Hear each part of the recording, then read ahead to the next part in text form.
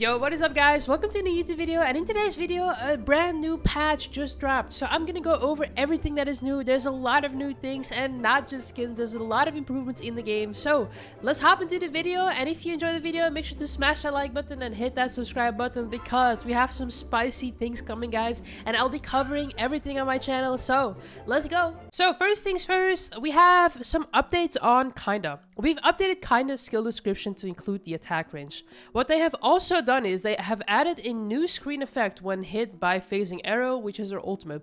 They have also improved the scouting arrow. So enemies scanned by the scouting arrow will now appear on the minimap. And not only that, the scouting arrow can also now be attached to characters or vehicles and move along with them. So that is a huge, huge update on that scouting arrow. So basically, if you hit someone with that arrow, they will pretty much be marked even though they move around. So that is a huge, huge W we have improved some core combat improvements. We've updated the FOV settings, allowing you to set it up to 120. And guys, this is major, major news. Let me show you guys what the difference is between the 90 FOV that we used to have and the 120 that we now have with this update.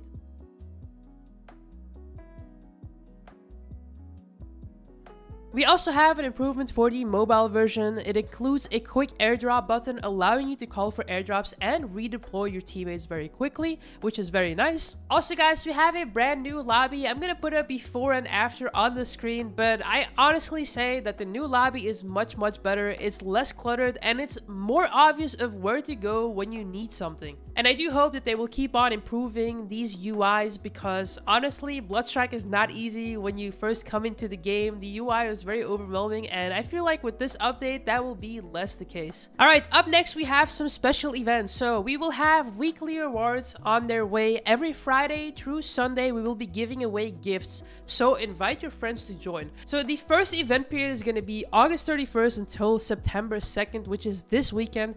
Then it will go away again and it will come back the next weekend on the in the weekend of the 7th of September. So we basically get some more free stuff for inviting our friends to Bloodstrike and playing with them. So this will be literally every week, guys. I don't know what type of rewards these will be. I imagine it's going to be rewards such as ornaments, maybe some emos, maybe some camos. So stay tuned for that. Up next, we have a tutorial overhaul, which I'm not going to go too much in depth about because this is really, really for the new players that come on board. So as you guys can see, we have a tutorial overhaul and they are letting us invite new players. So you can see that they're working on getting more and more players into the game and uh, they're making it easier for people to join Bloodstrike with the UI update, with the tutorial overhaul, and of course, if you invite your friends, you can play with them and teach them the game. We have some new arrivals, which basically means new skins. Now, first up, we have the Eternal Scar Dominator skin, which we all have already seen, and it looks absolutely insane.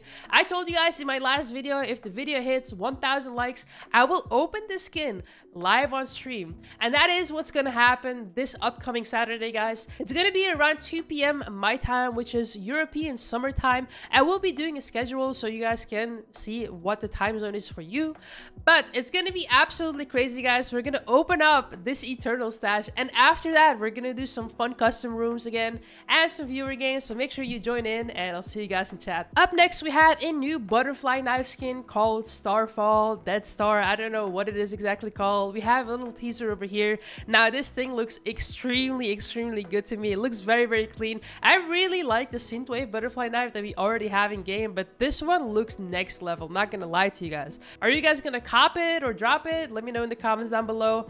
And up next, we have new legendary skins for the AK-47 and the Desert Eagle. It's called the Hellhound skins, and it's gonna be available and arriving on September 9th. So that is very, very soon. We also have a super sale coming very, very soon. The ominous M4A1 Death Sentence skin. Now, this is a super sale for 299 gold, and they do say it's gonna come soon, so I imagine that's gonna be sometime next week, uh, but we'll have to wait and see. Up next, we have some system optimizations. We have the play again has been improved. Give it a try and team up with your friends for another round. They've also added a share button in the weapon page. You can now quickly share weapon skins to the chat channel. They have also added a switch button in the weapon page, making it easier to switch between weapons when adjusting the attachments or appearances. Once a weapon reaches level 50, using it in matches will earn you universal weapon XP cards, which can be used to upgrade other weapons. So basically, if you do reach level 50, you will get rewarded even more by some additional XP cards and this will allow you to upgrade your other weapons to get better attachments. And the reason why they're doing this is again so new players don't have to grind forever to get good attachments and good weapons. I think this is a huge W to improve this XP XP system um, because I do know that not everyone has the time to be grinding out weapons all the time. So uh, very, very nice. Up next, we have a streamlined combat tutorial and lowered the mission requirements. So basically for new players, it will be easier to get into the game again. And then up next, we have an optimization of the design of the ace shooter titles. Now, if you guys don't know what these titles are, these are the titles that you get for your region, for your country. For example, if you are top 100 AKA player, it will look something like this, like on my profile. And you can basically just grind these ace titles and they look absolutely amazing. I really, really like this improvement. That's a huge W in my book. And then up next, they've also added the in-game tutorials, which we've seen earlier. Up next, we have profile cards are now visible on the main menu and you can view other profile cards while being in a team, so that's nice.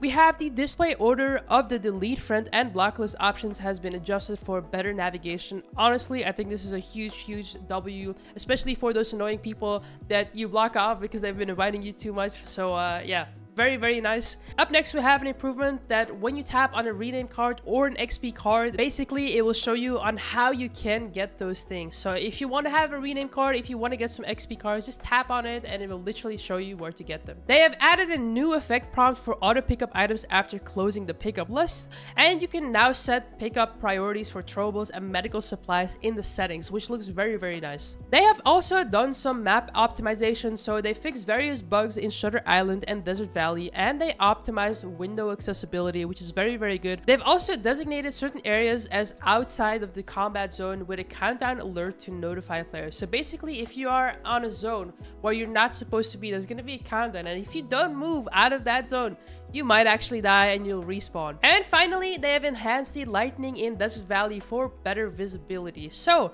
these are all of the kind of like major talking points of what they've improved in this patch. Honestly, there's a lot of improvements here and I really hope we see more improvements like this in the future. You can definitely tell that they want to get more people to enjoy Bloodstrike. They are making it more newbie friendly and more accessible for everyone. And on top of that, you can see that they are going to be working on some of the grinding rewards, so, such as the Ace Shooter title, such as the leaderboards. So hopefully we will also see some ranked rewards improvements and maybe some leaderboard improvements. I think this is some good steps in the right direction. So let me know what you guys think about this new patch. Let me know in the comments down below. And as always, I'll keep you in the loop and I'll see you guys soon. Bye-bye.